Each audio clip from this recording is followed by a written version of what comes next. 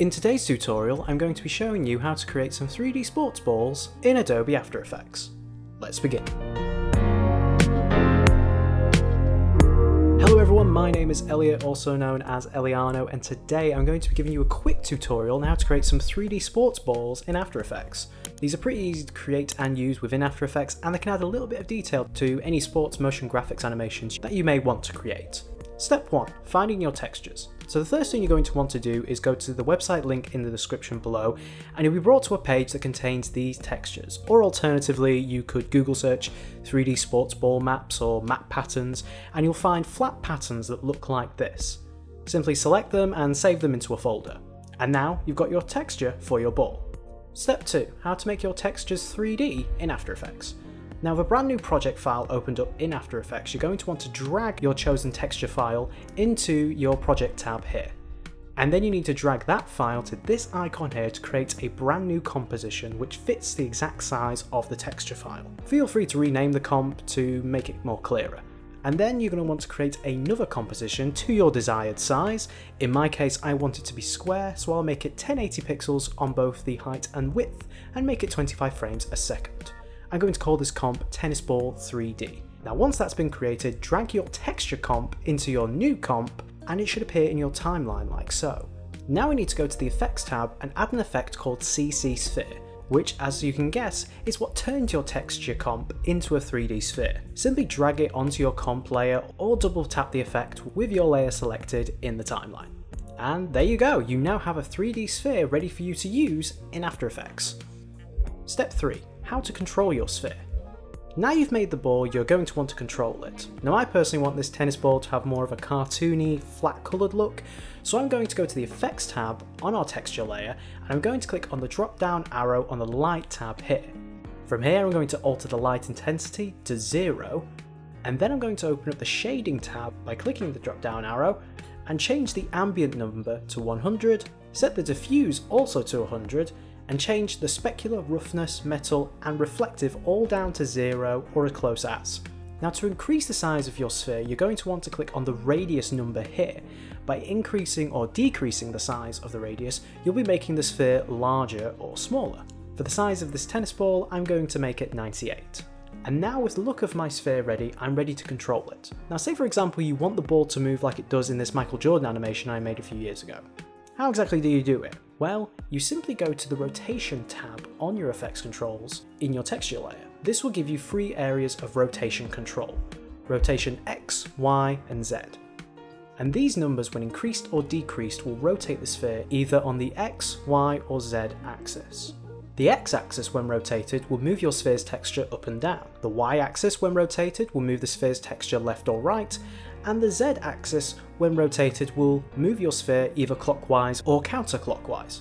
And to animate any of these rotations, you just need to click on the stopwatch on each tab. This will then create a keyframe on your layer which you can reveal by double tapping U with the layer selected in the timeline. And then you simply just need to change the number with your cursor dragged across the timeline to a different section.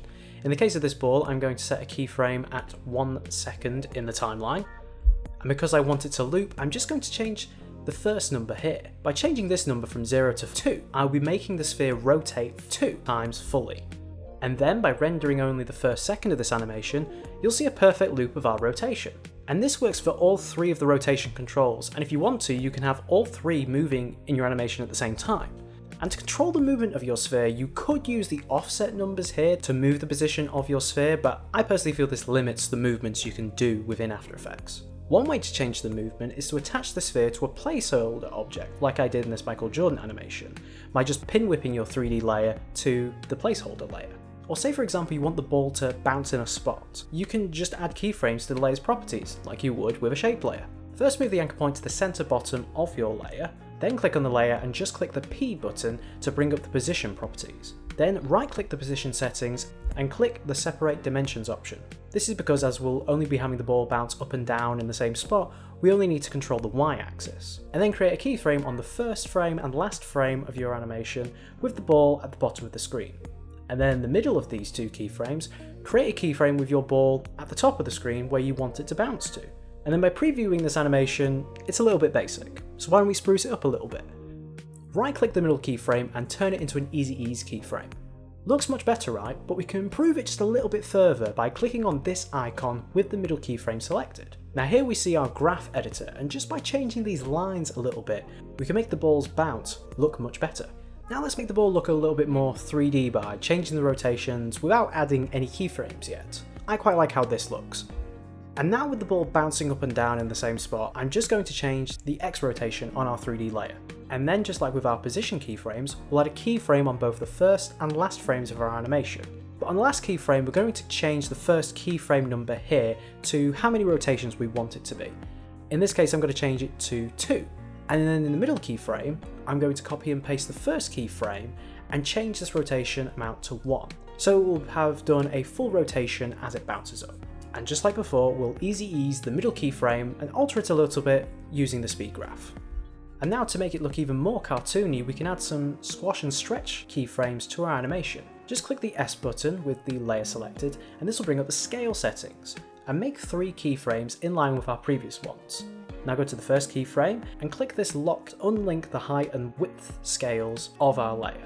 Now on this first keyframe, the ball has just landed on the ground, and this will be where the ball makes its most gravitational impact. So I'm going to make it stretch a little bit by changing this number here from 100 to 105, and then make another keyframe right afterwards and change it back to 100. And then in between the second and third keyframe, I'm going to alternate it to make it look a little bit thinner as the ball rises up, by changing this number to 95. Then I'll add a keyframe between the middle and last keyframe here with this number set to 82, and then copy and paste the first keyframe in place of your last keyframe. And then I'll add a keyframe just before the final one with both numbers back to 100.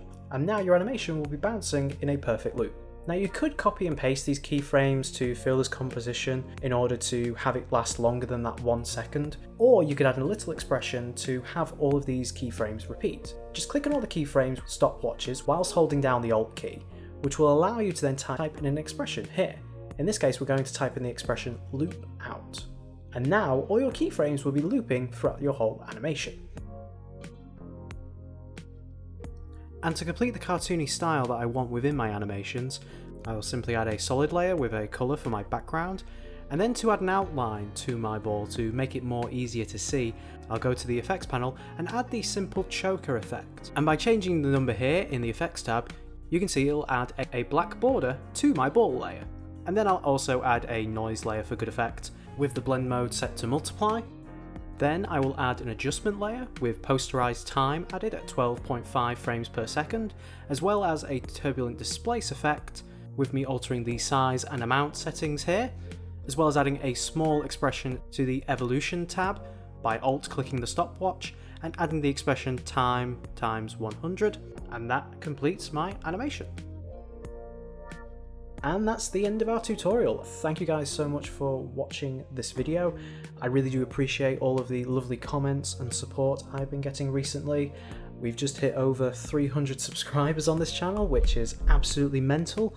And uh, if you enjoyed this video, uh, please make sure to click the like button, hit that subscribe button, hit the notification bell, and please feel free to follow me on Instagram to check out all of the other motion design bits I've done over the years.